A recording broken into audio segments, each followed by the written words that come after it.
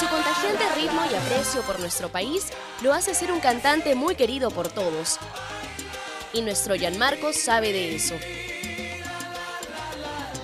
Yo me acuerdo que conocí a Marc Anthony en una teletón aquí en Perú en el año 92, 93. Y esa amistad se hizo sentir en México, cuando Marc Anthony sorprendió a Gianmarco durante el concierto Autores en el lunario del Auditorio Nacional.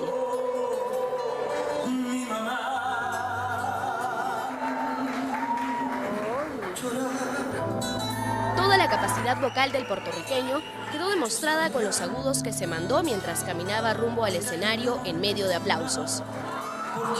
El boricua dejó su sitio en el público, le dio un muy efusivo saludo e interpretó el tema Hasta que te conocí.